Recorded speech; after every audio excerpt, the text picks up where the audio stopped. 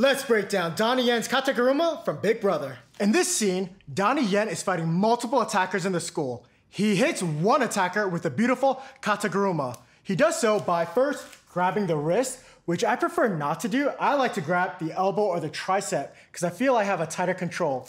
He drops underneath, combing his hair, bringing his arm underneath the leg and rolling him over the shoulder. Now let's see that in full speed.